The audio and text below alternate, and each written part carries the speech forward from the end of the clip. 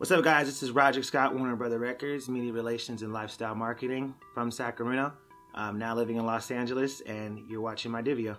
I got into the music industry kind of on a whim. Um, I actually was doing advertising before I got into this, but music has always been something that's been with me even since, you know, kid. The moment that really hit to me and really, you know, showed me that I could do this, you know, did a lot of internships when I was in uh, college. And so I remember being on one of the red carpets for the Grammys. Um, I had like Chris Brown, I think time when they were dating, and just remember just walking the red carpet with them, having to do interviews, and I was like, this is kind of cool, you know what I mean? But generally, I wake up around six o'clock in the morning. Um, that's when I get out my pitches. Um, I deal with a lot of media, which is on the East Coast, so you know they're three hours ahead and they're heading into their pitch meetings. So um, I just make sure that I have all my materials ready, I have my pitches ready, so that they can go um, and hopefully you know work on my behalf on getting my artist editorial coverage that they need.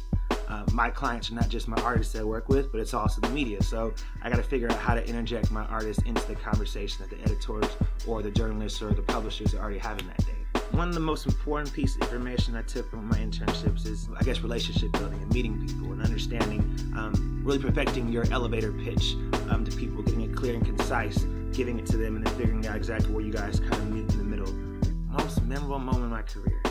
I think I have to say, really, my first like big cover that I did was with uh, the Fader and with like PARTYNEXTDOOR. And I think just being on there on the road with them, um, we traveled from New York to Philadelphia on a bus with you uh, with a writer and photographer.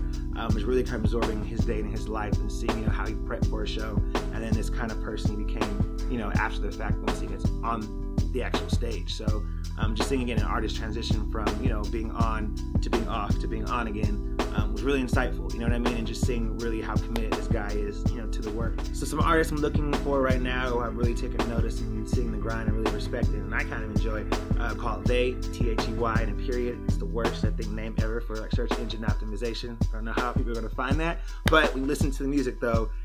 It's amazing. I mean, they're on Mind of a Genius Records.